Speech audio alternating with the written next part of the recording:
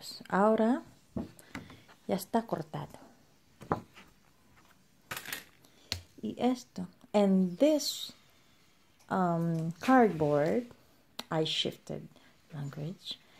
And this cardboard is now cut into a beautiful flower.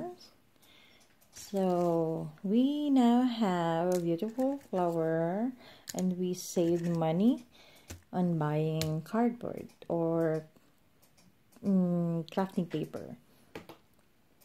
In that way, we also help reduce not only we recycle this, but we reduce some garbage, and then we will reuse it to make a beautiful project.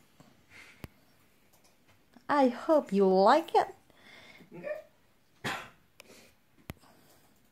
Espero que te que te calles.